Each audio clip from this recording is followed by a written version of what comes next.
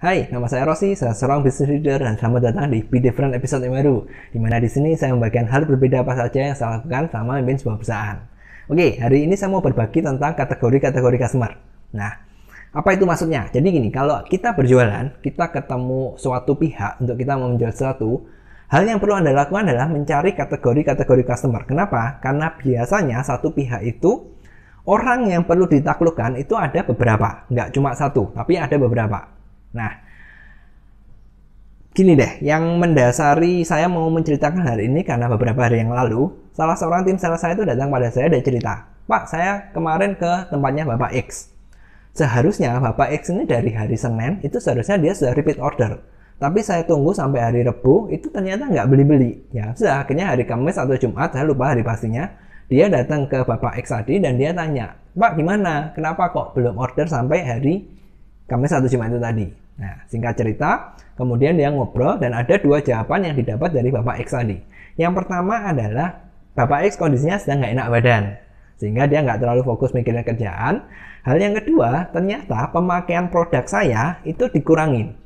Nah, penasaran kan hal ini kemudian tim sales saya pun nanya, loh Pak, kalau Bapak nggak enak badan, emangnya apakah e, maksudnya usaha ini nggak jalan dalam arti mungkin libur atau gimana? Ternyata enggak, masih jalan, tapi diserahkan ke anak buahnya. Nah, itu kan hal, hal yang aneh. Seharusnya kalau tetap jalan, seharusnya kan pemakaiannya normal. Tapi kenapa kok sampai hari Rebu, Kemis itu belum repeat order? Nah, fakta kedua yang didapatkan adalah penggunaan produk saya itu ternyata dikurangin. Penasaran kan hal ini, tim saya, saya pun nanya, kenapa kok dikurangin? Nah, singkat cerita, tim saya, saya ini nggak dapat jawaban yang tepat, nggak dapat jawaban yang pasti. Alasannya itu kenapa? Ya sudah kan, akhirnya kan buntu, dia pulang dan dia laporan ke saya cerita seperti itu. Saya, saya pun kemudian bertanya kepada tim sales saya gini, oke okay, kamu ke customer itu, kamu biasanya ketemu berapa orang? Satu, si Bapak X tadi. Nah, dia kan kebetulan adalah pemiliknya, ownernya langsung. Lalu saya pun nanya, selain Bapak X, ketemu orang lain nggak? Sempat ngobrol dengan orang lain nggak? Terutama mereka yang pakai produk itu. Ternyata jawabannya nggak dia cuma ketemu Bapak X karena dia pikir Bapak X itu owner, ya sudah. Segala sesuatunya itu akan gampang. Nah, berkaca dari cerita ini, saya pun kemudian menjelaskan, sama seperti yang akan jelaskan kepada Anda, bahwa customer itu selalu terkategorikan menjadi empat bagian. Apa saja itu? Yang pertama adalah tipe M, manajerial. Itu mereka yang selalu fokusnya itu kepada profit. Biasanya manajerial ini bisa manajer, bisa direktur, bisa ownernya langsung. Oke. Tipe yang kedua, mereka adalah yang tipe purchasing, di mana fokusnya adalah cari barang yang murah. Tipe ketiga adalah technical, di mana biasanya mereka itu yang fokusnya ke fitur dan benefit dari suatu produk. Bisa nggak dia pakai, keuntungannya apa, seperti itu. Yang keempat, yang terakhir adalah tipe user, di mana ini adalah mereka yang make langsung produknya kita.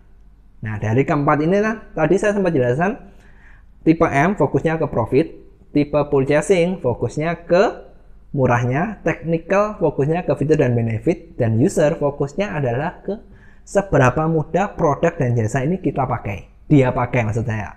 Nah, kenapa kok ada empat ini dan kenapa kok kita harus cari keempat ini? Jawabannya gini, sama seperti kasus yang dihadapi tim saya, dia sudah dapat tipe M-nya, yaitu ownernya langsung kan, Kebetulan ownernya ini juga handle purchasingnya, dia pembeliannya langsung karena ini masih perusahaan kecil. Dan kebetulan dia juga yang merangkap teknikalnya. Nah, tapi satu faktor, satu kategori yang tidak dia handle adalah usernya. Dan ketika sudah beli, sudah jalan, sudah repeat order beberapa kali dan ada masalah, yang tahu pastinya siapa? Usernya kan? Ownernya tadi nggak tahu, padahal dia merangkap tiga tipe. Dan karena ini miss, usernya ini miss, saya pun nggak tahu harus apa dan nggak tahu apa sebenarnya masalah yang terjadi. Nah, ini contoh pentingnya kita harus ketemu empat tipe tadi dan kita harus handle mereka satu persatu. Kenapa? Karena kembali fokusnya ini beda-beda. Managerial M ini pasti fokusnya ke profit. Purchasing pasti fokusnya ke murah. Technical pasti fokusnya ke fitur dan benefit. Dan user pasti fokusnya ke semudah apa dipakai keempat ini beda-beda semua, otomatis masalahnya mereka juga pasti beda. Dan kalau kita hanya mengandalkan satu dua pihak, susah. Oke lah Anda mungkin bisa jualan, tapi maintenance-nya, nyari repeat order-nya biasanya kayak gini. Dan ini dialami sel saya bukan yang pertama. Ini sudah kasus yang kedua dalam bulan ini. Nah, jadi karena ini sering terjadi buat Anda, jadi Anda harus wajib hukumnya menemukan empat kategori ini, apalagi kalau Anda bidangnya adalah B2B. Bisnis to bisnis seperti saya. Kalau B2C, kalau yang ke retail gimana?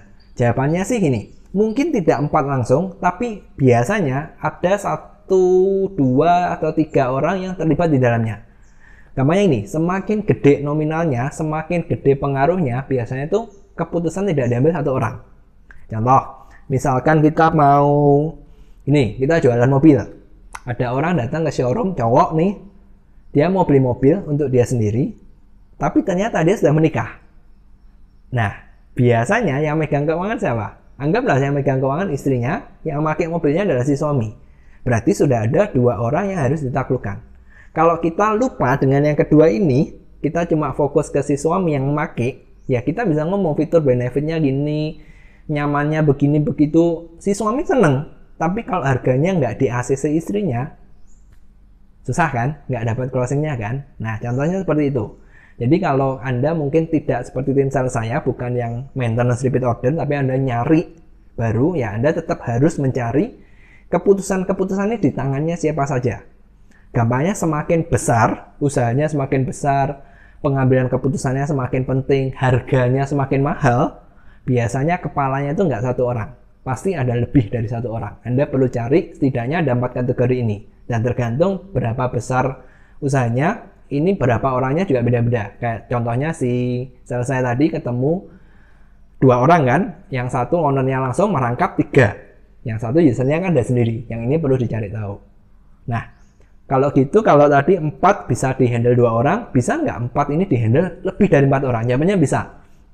Semakin gede perusahaannya biasanya gitu. Contoh nih, ownernya satu, manaj uh, anggaplah manajerialnya satu, ya dia merangkap owner. Purchasingnya ada orang lagi Teknikalnya bisa satu, bisa dua. Anggaplah satu. Usernya bisa banyak kan?